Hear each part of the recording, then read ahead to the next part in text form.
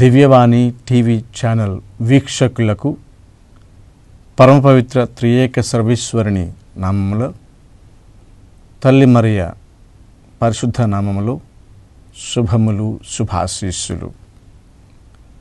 గత కొన్ని వారములుగా మనము శ్రీసభ చట్టములోని జ్ఞాన వివాహము అన్నటువంటి అంశం మీద ధ్యానం చేస్తూ ఉన్నాం.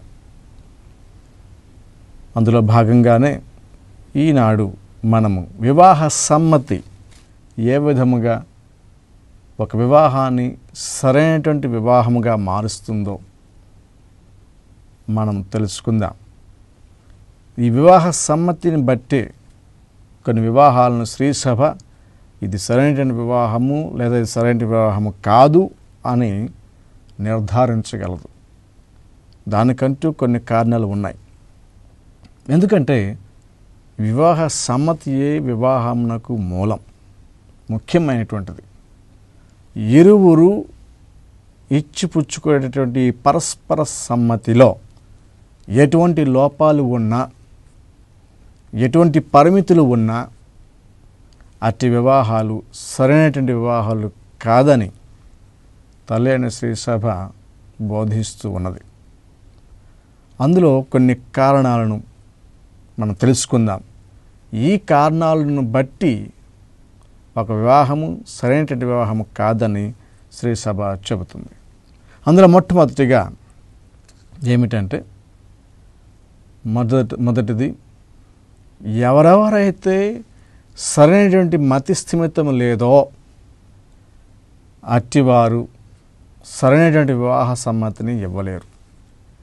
పరిపూర్ణమైనటువంటి వివాహ సమ్మతిని ఇవ్వలేరు. మానసిక రోగులు సరైనటువంటి వివాహ సమ్మతిని ఇవ్వలేరు మానవుడు దేవుడు మానవుణ్ణి ఒక బుద్ధి వివరము తెలిసినటువంటి వానిగా సృష్టించారు. తాను ఏం చేస్తున్నాడు ఏమి చేయబోతాడు అన్నటువంటి విషయములను క్షుణ్ణముగా తెలుసుకొని ప్రవర్తించేటటువంటి విచక్షణ జ్ఞానాన్ని మంచేదో చెడేదో అన్నటువంటి బుద్ధిని కలిగి విచక్షణ జ్ఞానాన్ని కలిగినటువంటి వాడే మానవుడు.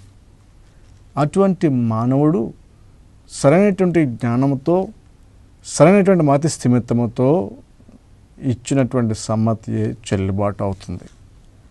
తాను సరైనటువంటి స్థితిలో లేనట్లయితే తన యొక్క మానసిక స్థితి సరిగా లేనట్లయితే ఇది మంచిది ఇది చెడు అని గ్రహించటం విచక్షణ జ్ఞానం లేనట్లయితే అటువంటి వారు సమ్మతి ఇచ్చినా కూడా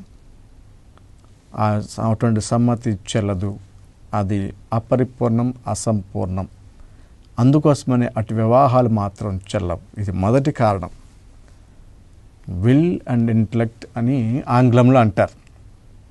అంటే మానవుడు ఆలోచించి నిర్ణయాలు తీసుకొని తదనుగుణంగా తన యొక్క సమ్మతిని ఇవ్వాలి.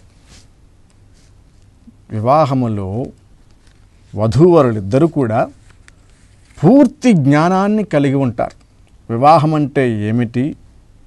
ఎందుకు వివాహమును చేసుకుంటున్నారు? అన్నటువంటి విషయాలన్నింటినీ కూడా తెలుసుకొని ఆ తర్వాతనే ఈ యొక్క వివాహ సమ్మతిని ఇచ్చిపుచ్చుకుంటారు. అందుకోసమని ఇటువంటి సమ్మతిలో ఎటువంటి లోపాలు ఉన్నా వివాహ సమయంలో అది బయట పడనప్పటికీ వివాహము జరిగిన తర్వాత ఒకవేళ బయటపడినట్లయితే అటువంటి సమ్మతి సరైనటువంటి సమ్మతి కాదని తెలియని శ్రీసభ చెప్పి ఆ వివాహాన్ని సరైన వివాహము కాదని నిర్ధారించగలదు.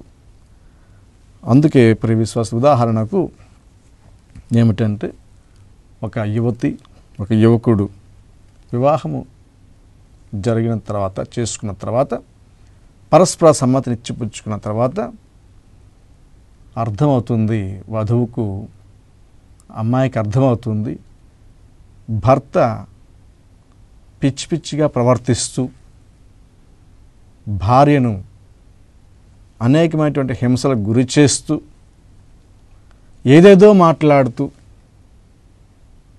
ఏదో విధంగా ప్రవర్తిస్తూ అట్లా చిత్రహింసలకు గురి చేస్తూ ఒక మనిషిలా ప్రవర్తించినప్పుడు అర్థమవుతుంది కనుక్కుంటారు. ఏమిటంటే గతంలో వివాహానికి ముందే ఆయనకు సరైనటువంటి మానసిక స్థితి లేదు అని. డాక్టర్లకు తీసుకువెళ్ళినప్పటికీ అది ఇంకా పూర్తిగా నయం కాలేదని అది పూర్తిగా నయమయ్యేది కాదని నిర్ధారించిన తర్వాత కూడా ఈ వధువు యొక్క కుటుంబానికి చెప్పపెట్టకుండా చెప్పకుండా ఈ వరుడు వరుడి యొక్క కుటుంబము పెండ్లైతే తప్పకుండా వివాహం అయితే తప్పకుండా తమ యొక్క కుమారునికి లేదంటే తమ బంధువుకు పిచ్చి కుదురుతుంది కదా. లేదంటే సరైనటువంటి మానసిక స్థితి ఏర్పడుతుంది కదా అనేటువంటి ఉద్దేశ్యంతో వివాహం జరిపించేసినటువంటి సందర్భం చూసినట్లయితే అటువంటి వివాహాలు చెల్లవు. ఎందుకంటే దీని వలన ఆయన సరైనటువంటి వివాహపు సమ్మతిని ఇవ్వలేదని ఇక్కడ మనకు తెలుస్తుంది. అందుకే ఈ వివాహము చెల్లదు. శ్రీ సభ అధికారులు ఈ యొక్క వివాహం నుండి అమ్మాయికి వధువుకు అనుమతినిచ్చి మినహాయింపునిచ్చి అప్పుడు వేరొక వివాహము చేసుకోవడానికి వీలు కల్పిస్తారు. ఒక తీర్పు ద్వారా ఒక జడ్జిమెంట్ ద్వారా. ఆ విధముగా సమ్మతి సమ్మతిని ప్రభావితం చేసే అంశాల్లో మొట్టమొదటిది ఏమిటంటే మానసిక స్థితి. వధువైనా వరుడైనా సరే ఇచ్చిపుచ్చుకునేటటువంటి సమ్మతి ఇచ్చిపుచ్చుకునేటువంటి సమయానికి వివాహపు సమయానికి పరిపూర్ణమైనటువంటి మానసి మంచి మానసిక స్థితిని కలిగి ఉండాలి. అది లేనప్పుడు ఆ తర్వాత జీ జీవించేటటువంటి జీవితంలో అవి బయటపడినప్పుడు లక్షణాలు మానసిక స్థితి సరిగ్గా లేనటువంటి లక్షణాలు బయటపడినప్పుడు అప్పుడు వధువు కానీ ఎవరైతే బాధపడుతున్నారో వారు శ్రీసభ అధికారులను సంప్రదించినట్లయితే చేసినటువంటి ఇటువంటి మోసాన్ని గ్రహించి శ్రీసభ అధికారులు అటు ఆ వివాహము సరైన వివాహం కాదని చెల్లదని అప్పుడు వేరొక వివాహం చేసుకోవడానికి శ్రీసభ ఆ బాధపడుతున్నటువంటి వధువుకు కానీ లేదంటే వరుడికి కానీ మినహాయింపు ఇస్తూ వేరొక వివాహానికి అనుమతి ఇస్తుంది. ఇది మొట్టమొదటి కారణం. మానసిక స్థితి. Those do not have sufficient use of reason అని ఆంగ్లంలో అంటారు. అటువంటి వారు పరిపూర్ణమైనటువంటి సమ్మతిని ఇవ్వలేరు అని. ఇకపోతే రెండవది. వివాహం యొక్క హక్కులు బాధ్యతల గురించి తెలియనటువంటి వారు ఇచ్చేటటువంటి సమ్మతి కూడా చెల్లదు. అందుకే మనము ప్రతి దేవద్రవ్యానుమానము లేదా ప్రతి దివ్య సంస్కారము కూడా తెలుసుకొని విలువ తెలుసుకొని ఆ తర్వాతనే స్వీకరించాలి అంటారు. ఆ తర్వాతనే నాకు ఈ దేవద్రవ్యానం దివ్య సంస్కారం కావాలి అని అడుగుతారు. ఆ విలువ తెలుసుకున్నప్పుడు ఆ వివా ఆ యొక్క దివ్య సంస్కారం తీసుకున్నా పుచ్చుకున్నా స్వీకరించినా ఎటువంటి ఆధ్యాత్మిక ప్రభావము కనిపించదు.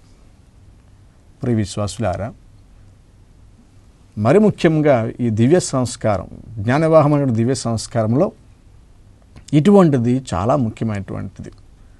హక్కులు బాధ్యతలు క్షుణ్ణంగా తెలిసి ఉండాలి. తెలిసి ఉన్నటువంటి వారే సమ్మతినివ్వాలి. తెలుసుకోకుండా సమ్మతిని ఇచ్చి వివాహ సమయంలో ఆ తర్వాత ఆ హక్కులు బాధ్యతల గురించి మర్చిపోయినట్లయితే విస్మరించినట్లయితే అటువంటి వివాహములు అటువంటి వివాహ సమ్మతి చెల్లదని శ్రీసభ చెప్పవచ్చు. ఇదే మనము చూస్తూ ఉన్నాం. వివాహ సమ్మతికి తగినటువంటి పరిణతి ఉండాలని. ఈ పరిణతి లేనట్లయితే ఎటువంటి వివాహ సమ్మతి అయినా అది ఇమ్మెచ్యూరిటీ అంటే అపరిపక్వం అపరిపక్వం అవుతుంది కాబట్టి అటువంటి వివాహ సమ్మతి ఆ వివాహాలు చెల్లవు. ప్రియ విశ్వాసులారా ఉదాహరణకు రాజేష్ అన్నటువంటి వ్యక్తి రాధిక అన్నటువంటి వధువును పెళ్ళాడు వివాహమాడాడు. శ్రీసభ చట్ట ప్రకారం వివాహమాడిన తర్వాత ఎప్పుడైతే తన భార్య గర్భము దాల్చిందో తన భార్యను ఆసుపత్రిలో చేర్పిన చేర్చడం చేర్చకుండా ఆమెను పట్టించుకునకుండా ఆమె అష్ట కష్టాలు పడుతూ ఉన్నట్లయితే చీమ కుట్టినంత కూడా లేకుండా తన తన తన పనిలో తాను మునిగి మునిగి మునిగిపోతూ తాను అసలు పట్టించుకోకుండా బాధ్యతారహితంగా ప్రవర్తించినట్లయితే అది సరైనటువంటి సమ్మతి కాదు అని తెలుస్తుంది. ఒక చిన్న విరామం తర్వాత తెలుసుకుందాం ఈ విషయం గురించి.